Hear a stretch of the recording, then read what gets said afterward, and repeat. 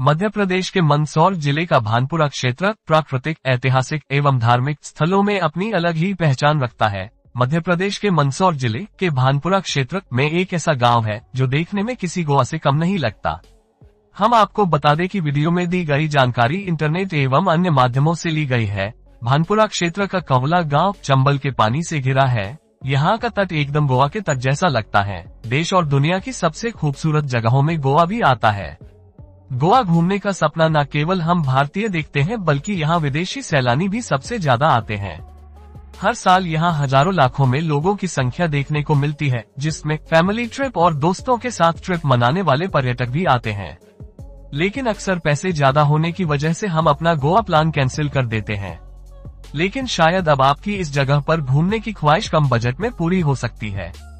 जी हाँ मध्य प्रदेश में एक छोटा गोवा यानी मिनी गोवा स्थित है, जहाँ स्थानीय लोग सबसे ज़्यादा यहाँ अपना वीकेंड मनाने के लिए आते हैं।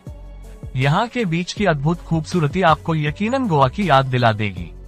कंवला में सनसेट को देखने का मज़ा कुछ और ही है। ये जगह काफ़ी शांति वाली और प्राकृतिक नज़ारों से घिरी हुई है मतलब देखने वालों के तो होश ही उड़ा देती है।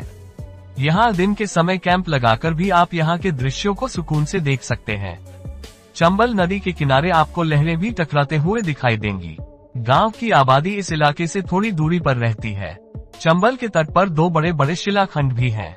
इन शिलाखंडों में एबाबिल पक्षी के मिट्टी से बने हुए सुंदर घरोदों को भी देखा जा सकता है। इनकी वजह से इन्हें गाँव में चिड़ी वाला पत्थर भी कहते हैं। यह मंदसौर से 145 किलोमीटर और भानपुरा से 11 किलोमीटर है। कंवला का प्राचीन नाम कमालपुर है। वराह मंदिर, चतुर्भुज मंदिर, लक्ष्मीकांत मंदिर तथा जैन मंदिर इस गाँव की अमूल्य निधि है। इन मंदिरों में वराह मंदिर सर्वाधिक महत्वपूर्ण एवं आकर्षक है। भूमित शैली में निर्मित यह मंदिर परमारकालीन है। मंदिर के गर्भगृह में वराह की सुंदर प्रतिमा है। कंवला ग्राम के अंतिम छोर पर स्थित चतुर्भुज मंदिर मालवा क्षेत्र के संरक्षित स्मारकों में है। भूमित शैली में निर्मित इस चतुर्भुज मंदिर का शिखर उड़ीसा के मंदिर के रेखा शिखर की भांति निर्मित है। लक्ष्मी नारायण मंदिर के नज़दीक ही जैन मंदिर है, जो ग्रामवासियों द्वारा सास बहु मंदिर के नाम से जाना जाता है। इस मंदिर का गुंबद मांडू के स्मारक से सामे रखता है। इसका निर्माण काल छठी सातवीं शताब्दी के आसपास माना गया है। आशा है कि वीडियो के माध्यम से दी गई जानकारी आपको पसंद आई होगी। वीडियो को लाइक एवं चैनल को सब्सक्राइब अवश्य कर दे।